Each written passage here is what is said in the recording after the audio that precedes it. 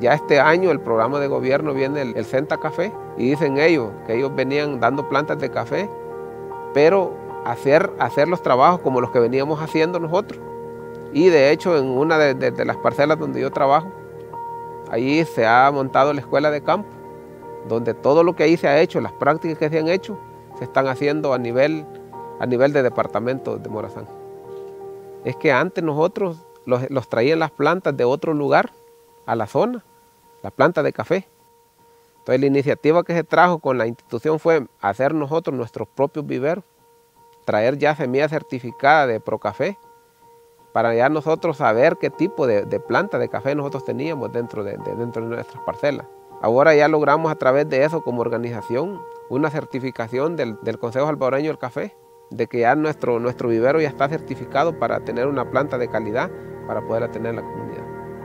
por eso es importante nosotros este, hacer nuestros propios viveros para ya nosotros tener la plantación y saber qué tipo de planta nosotros vamos a seleccionar para que de ahí sea la semilla que vamos a sacar para seguirla reproduciendo dentro de la comunidad.